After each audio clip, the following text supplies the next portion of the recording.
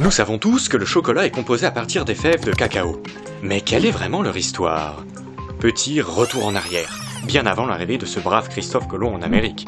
C'est il y a plus de 3000 ans, en Amérique du Sud et centrale, que l'on retrace l'origine des premiers cacaoyers, arbres de vitalité et fertilité selon les croyances de la civilisation maya.